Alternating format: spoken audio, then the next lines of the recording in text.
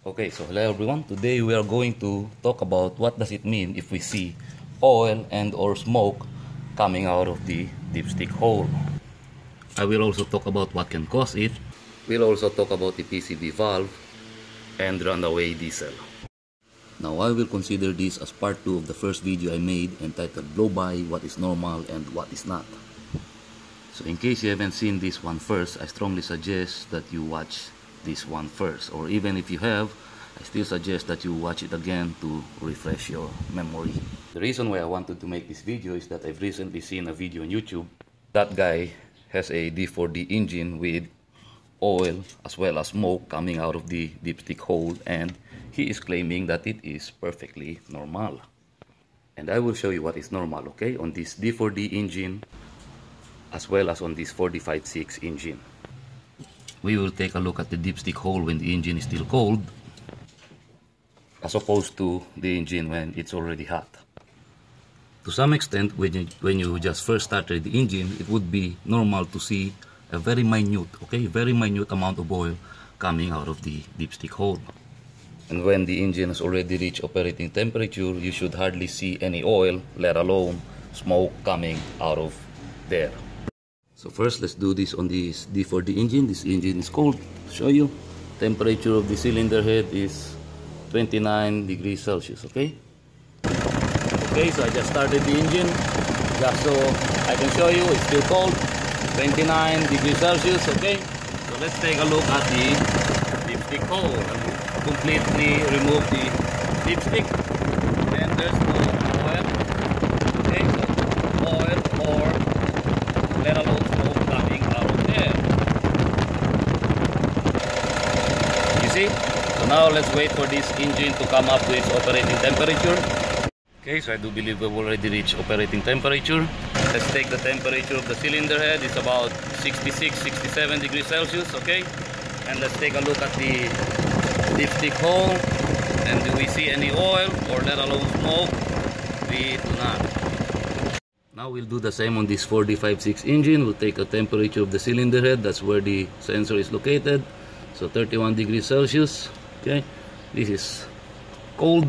Okay, so just just so I can show you, I'll even touch the 31 degrees Celsius. Okay, so still still cold engine, 31 degrees Celsius. Now let's take a look at the dipstick hole. Okay, so I'll take a look at remove the dipstick hole. I mean the dipstick. Okay, and just so I can show you. Do you see any oil out of there? We don't. Okay. So now let's wait for this engine to hit its operating temperature. Okay, so now I do believe this engine is already hot enough. Temperature of the cylinder head is 61 degrees Celsius. Okay, so let's take a look at the dipstick hole. We don't see any oil, let alone smoke coming out of there. Okay, I will even wrap this engine up for you.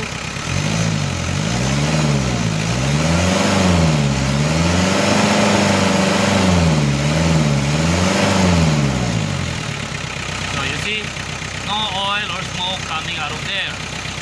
Now that is what normal looks like. Now these are the possible reasons for oil to be pushed out of the dipstick hole. One is too much oil, clogged PCV valve, poor oil circulation, and I will be frank with you, 80 to 90% of the time it is by reason of excessive blow by. So like I've said, please watch that one first, link of which is in the description below. Now let's start with the simplest first, too much oil. Now check your oil level in the dipstick and the best way to do this is to just let your engine sit there for just a few hours and then check your dipstick. And you should not see oil level that is below here. That indicates that you have very low oil and in the same manner you should not see oil that is beyond this point or especially way that above. That indicates that you have too much oil. Now, another possible reason is a clogged PCV valve. Now, this is only applicable with gas engines, okay? Now, PCV stands for Positive Crankcase Ventilation. Like I've said in my video entitled Blow By What is Normal and What is Not, all engine has blow by. Hence, all engine has a crankcase vent in order to release all that blow-by pressure that would otherwise be build up inside your crankcase. Now, blow-by pressure is composed of hot air and unburned fuel. That is why blow-by fumes is recirculated back again inside the cylinder to give it a second chance at ignition. What makes a gas engine crankcase vent different from a diesel engine is that in a diesel engine there is no need for fuel to air ratio. As you can see the intake is just an open air intake. Air is just gonna be sucked inside the cylinder. The more air the better. And if you want more power you just simply introduce more diesel via these diesel injectors. As opposed to a gas engine, there must always be a balance between fuel and air. That is why a gas engine has a throttle valve to regulate the amount of air that gets sucked inside the engine and balance that with the amount of gas you introduce. Now, because blow-by gases is a mixture of hot air, unburned fuel, and other combustion byproducts, if you will just reintroduce that inside a gas engine, that will ruin the fuel to air ratio of the gas engine and it will impede its performance. Hence the need for a PCV valve on a gas engine. On a diesel engine you only have a closed crankcase vent, meaning you only have this one vent that is connected to the intake to reintroduce all that blow-by pressure or blow-by gases inside the cylinder. So in a gas engine you have a PCV, meaning blow-by gases is not only going to be sucked from the engine and reintroduce it again inside the cylinder, but as well as fresh air is going to be introduced inside the crankcase. And the purpose of this valve is to regulate the amount of blow-by gases that will be reintroduced inside the intake depending upon the RPM of the engine so that it will not ruin the fuel to air ratio of the engine. Now at times your PCV valve gets stuck or clogged and if that happens that can cause blow-by pressure to build up inside the crankcase and push oil out of the dipstick hole. So if you have a gas engine, you might want to check your PCV valve. Now technicalities aside, whether you want to call it PCV, CCV, crankcase vent, or simply just a vent, even on this 456 manual, they just simply refer to this as a breather hose. But they all serve one purpose and that is to release blow-by pressure. Now, number three possible reason is poor oil circulation. Poor oil circulation can also cause excessive blow-by problems. This is also the reason why I said in the beginning it is somewhat normal to see a very minute amount of oil being pushed out of here when the engine has just started because the oil inside your engine has not properly circulated yet. Now aside from the lubricating purpose of the oil inside your engine, the oil also helps seal the gap between the cylinder wall and the piston.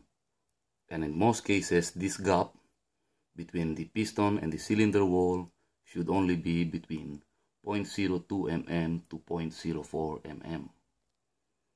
And that gap is very thin, even thinner than the average human hair. And so that very narrow gap should be filled up by a thin film or thin layer of oil and that should help seal the cylinder better. That is why in most engines you're going to find oil sprinklers or oil sprouts shooting up oil towards the piston as well as the cylinder. In a 456 engine you'll find that oil sprouts here, okay? Spraying oil up the piston as well as the cylinder. That is why when checking the compression of the engine you should do so by performing a dry and wet compression test. I'll post a link of that in the description below. In any event, if you have a problem with your oil circulation, you'll have to bring the engine down. And last but not least, the most common possible culprit for seeing oil being pushed out of this dipstick hole, especially more so smoke, is by reason of excessive blow-by. Now, it is not normal, okay? It is not normal to see oil coming out of here.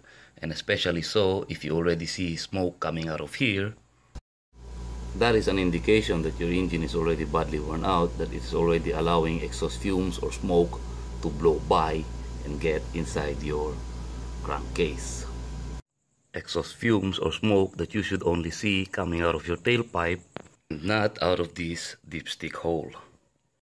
You see, people who are in the business of buying and selling engines, aside from performing a compression test, the very first place that they look at is the dipstick hole whenever they see a lot of oil and especially more so smoke coming out of there they move away and won't bother to buy it now there are those who say and claim that they don't feel any reduction in power or any underperformance of the engine leading them to believe that there is nothing wrong and that it is perfectly normal now depending upon your engine and how many cylinders it has you may only have one or two cylinders that are badly worn out and you would hardly feel any difference.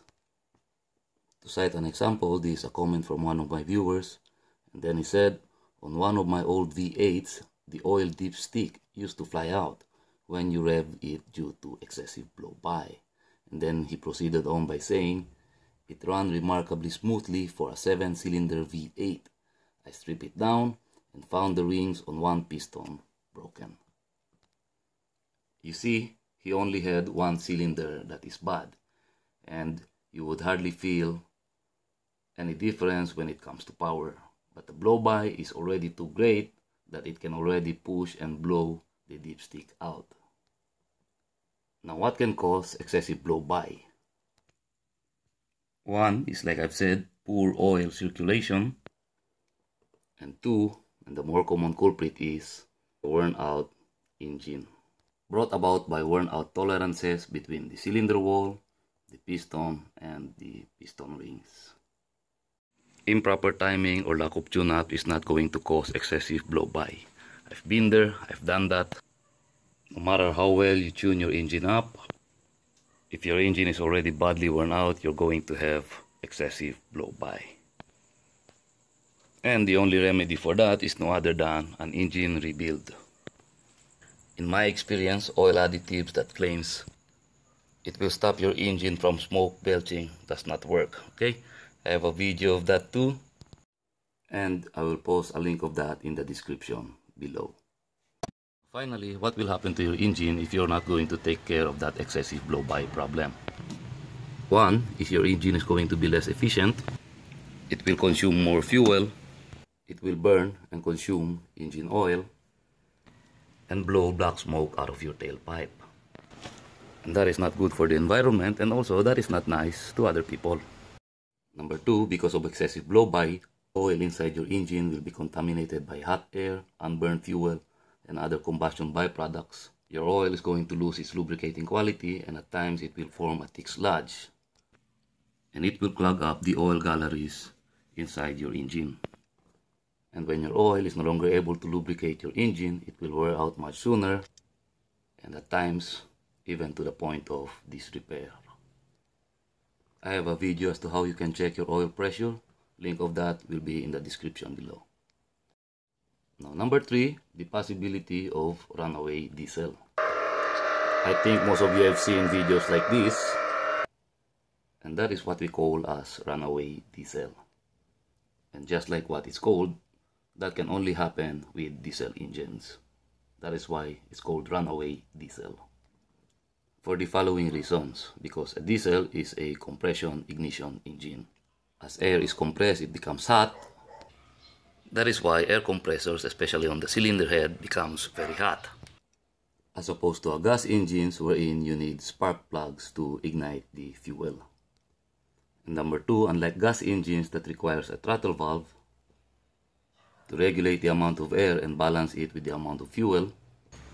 In a diesel engine, there is no need for a throttle valve because you only need an open air intake. And the more air, the better. So on a gas engine, when you turn off the ignition switch, the throttle valve also closes. On a diesel engine, there is no such thing. Now, generally, oil is not flammable, or perhaps the right term is that it's not highly flammable. But under the right conditions, because of the extreme heat, it can be ignited. Now, runaway diesel can happen when the engine starts to consume and ignite its own engine oil as a fuel source. And when that happens, your engine is going to rev up uncontrollably. And turning off the ignition switch will not help because the fuel that is being ignited is no longer diesel but already engine oil. And like I've said, a diesel engine does not have a throttle valve. So for as long as there is oil to be ignited and air is getting inside, your engine is going to continue to run away until it runs out of oil or in a more common scenarios until the engine destroys itself. And the only way to stop a runaway diesel is you have to suffocate it by either you have to cover the intake or douse the intake with CO2 fire extinguisher. Otherwise, for so long as there is oil to burn and all air is coming in, it's gonna continue to run away until it destroys itself. Now, there are those who believe that it can only happen with diesel engines that has a turbocharger. Your turbo can start to leak oil. That hot oil is introduced inside your cylinders then gets ignited, then your engine starts to run away. But even before, even before the advent of turbochargers becoming a common thing on diesel engines, runaway diesel has and can already occur by reason of worn out gaps that causes excessive blow-by. That excessive blow-by is made up of hot air, unburned fuel, and other combustion vapors that can cause your oil to heat up and gets inside your cylinder and gets ignited and you end up with runaway diesel. Now one, can only imagine if you have a diesel runaway situation in a crowded area and your transmission is engaged. Now if you have a manual tranny, you can just sim simply step on the clutch and disengage your transmission. But if you have an automatic transmission and the gear is engaged, your engine starts to run away, then your vehicle starts to run away with it.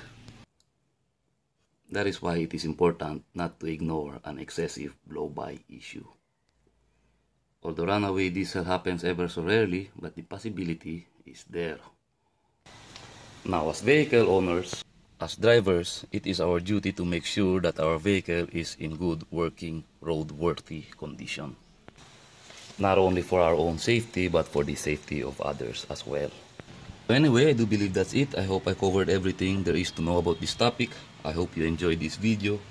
Like, share, subscribe if you want to. Only if you want to. And as always, thank you for watching.